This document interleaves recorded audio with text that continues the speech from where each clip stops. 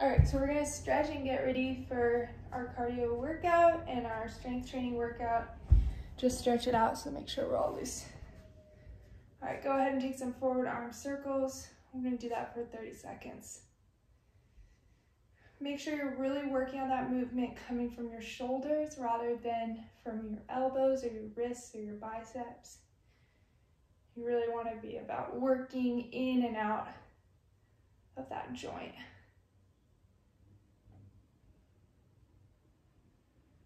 All right, now switch, go to the backward arm circles.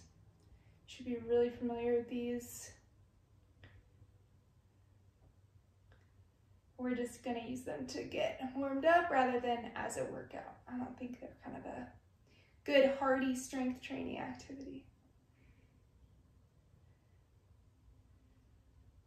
All right.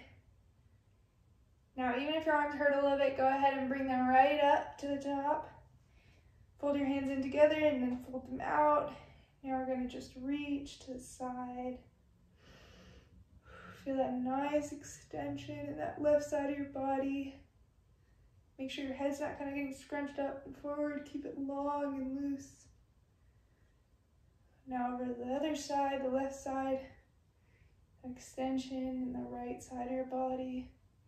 Don't move your hips. Keep everything straight except for that side bend in your upper body. All right, now over to the right side one more time.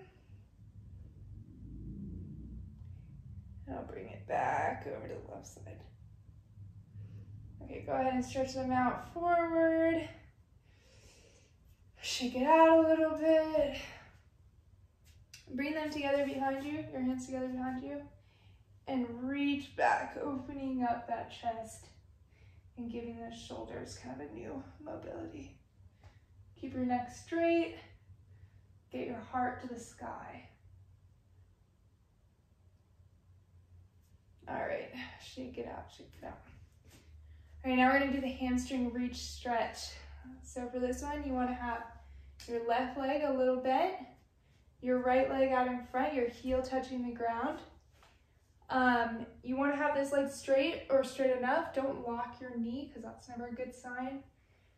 Um, and just reach down and touch your toes. Doesn't really matter, I guess, if you touch your toes or not. You can kind of have it here. You just want to be putting your weight in so that you're feeling the stretch on your hamstring right here.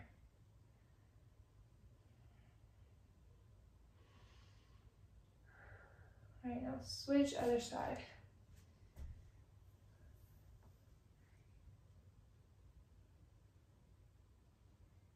Make sure you're still strong on that right leg, on that bent leg, even though you're leaning your weight onto that left.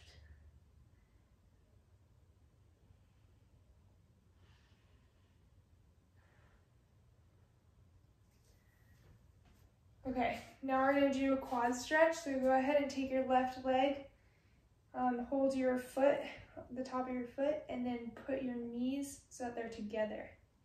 If this isn't enough of a stretch for you, like if you have it, your heel touching your butt and you're still not really feeling much, um, I, my balance, go ahead and take this into a dancer's pose.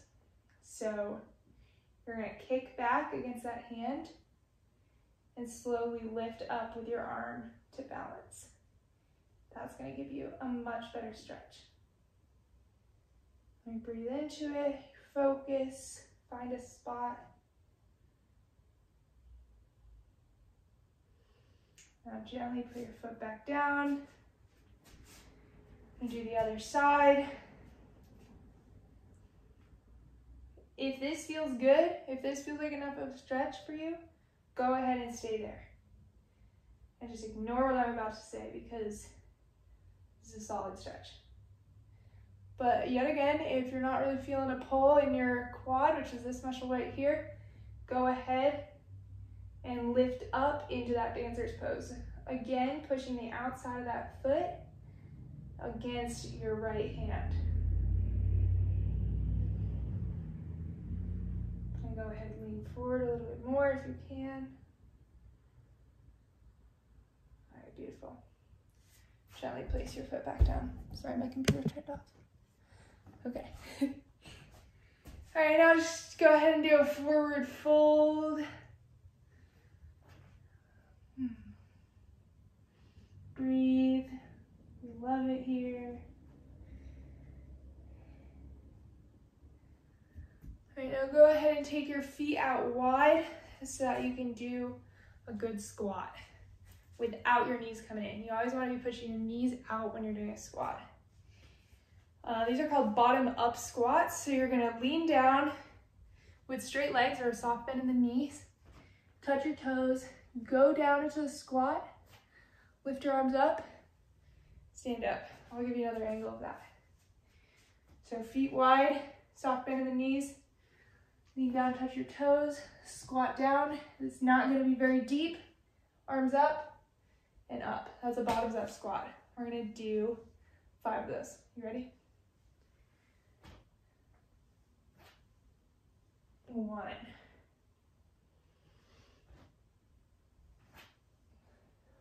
Two.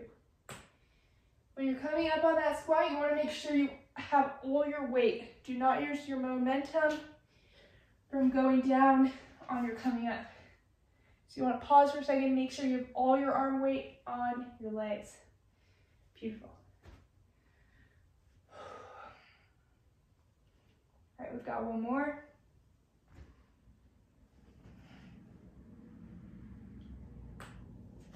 Nice. Okay, now we're gonna do some hurdle steps. So that's, you're just gonna take this leg, go forward just like you're going over a little wall that's right there. So just wanna open up your hip. You just touch behind you, come back up, touch in front of you. Do two more on the right leg.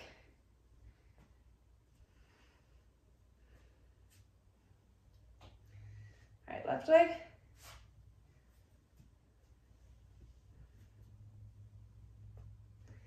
Really get that extension and go as high as you can. If you need that balance, go ahead and use that runner's arm position like we do on the lunges.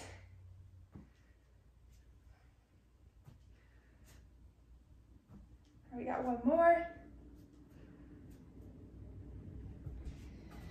Computer. okay, now we're gonna do our split squats. Great time to use that arm position again. So we'll start with right leg in front. Get yourself into that position so that your knees coming down right below your hips. We're gonna do 10 on each leg, so this is three.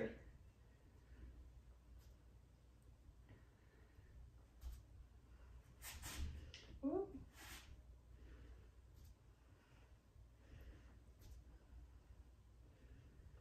Really articulate this movement so you're using your right glute to come back up. And go 10. Okay.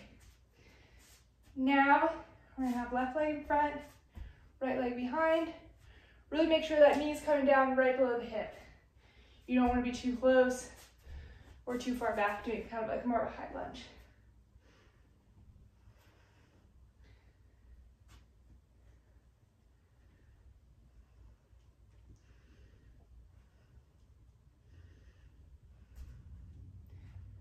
It's okay if your knee doesn't touch the ground.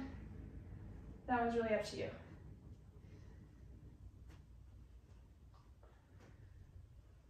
Okay, great. All right, now we're gonna do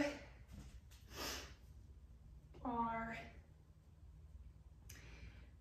sorry, 10 alternating lateral lunges. So you know these. No squat in the middle, okay? Go down as deep as you can. We're doing 10 per side, so this is three.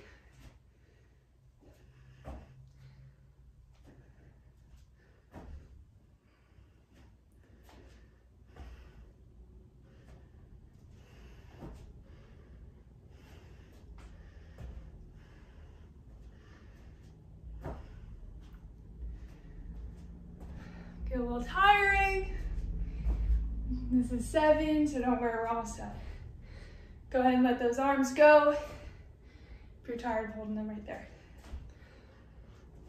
This is about putting all your weight onto the leg that's bending and simultaneously stretching the straight leg.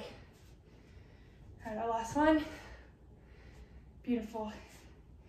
Okay, now we're gonna do uh, five plank walkouts. Super fun. Let me take off my socks for that one. It's kind of like a little mini sun salutation. So arms up, reach down, you know how to do this. Keep all your weight on your hands as you go. That's one. We got four more. Really articulate this movement so that your arms and your core are doing all the work. And your legs are just resting and along for the ride.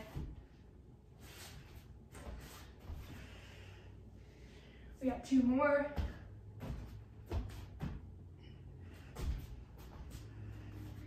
If you want to pause the video, feel free to hang out in that plank for a little bit longer to get a little bit extra workout. All right. Beautiful. Now we are our last little section of our warm up. So we're gonna go ahead and do two 30 second hip lifts. Stretch out with a figure four. So you know these, elbows into the ground, Keep your hands in a fist, whatever. Relax your head. You just lift up. And we're just gonna hold it here. We're not gonna do any kind of lowering.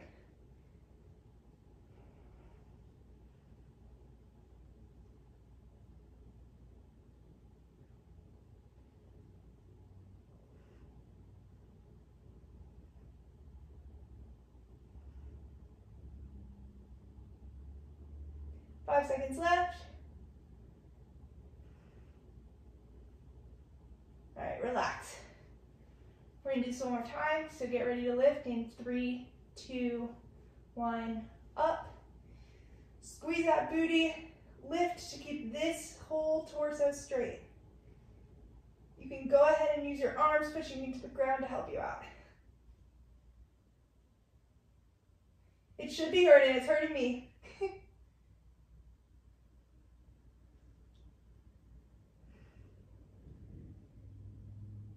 We got five, four, three, two, one. Okay, relax for a second. Take your left leg, put your ankle on your knee, and pull in, grabbing hold of your thigh. You can go ahead and relax your head, do whatever you want. It's all about getting that glute stretch in your left leg.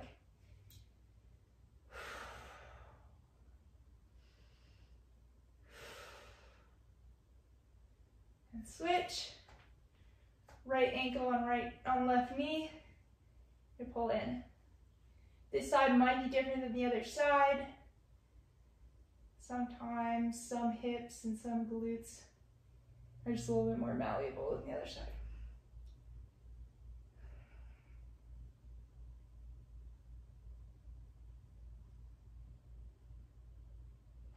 All right, release shake it out and prepare yourself to get right into our workout.